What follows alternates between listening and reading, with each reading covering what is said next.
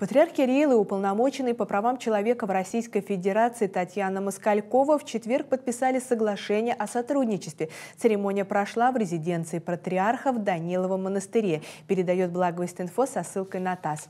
Москалькова отметила ту работу, которую церковь ведет с теми, кто переступил закон и оказался в заключении. Вся история Русской Православной Церкви – это история гуманизма и милосердия, поиска не буквы, а духа закона. Очень важно, что сегодня Сегодня работают воскресные школы, которые объясняют детям, что такое добро и зло. Сегодня нет ни одного следственного изолятора или тюремного ведомства или колонии, где бы священники не окормляли людей, попавших в трудную жизненную ситуацию, сказала она. Москалькова отметила, что человек достоин гуманизма, милосердия и добавила, что совместными усилиями таким людям оказывается поддержка и поиск нового пути.